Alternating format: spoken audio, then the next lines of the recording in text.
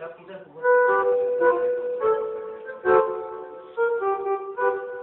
Lasă puțin, da.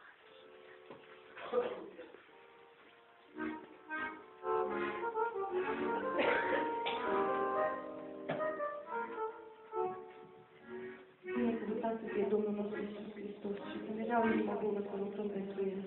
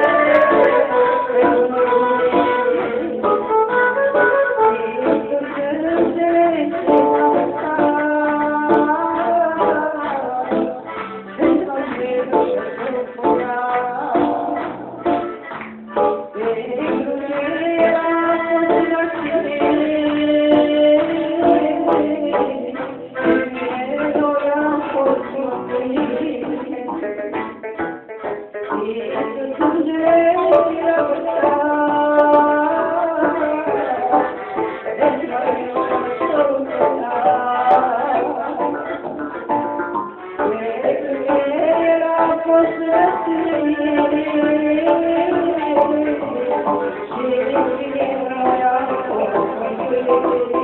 you.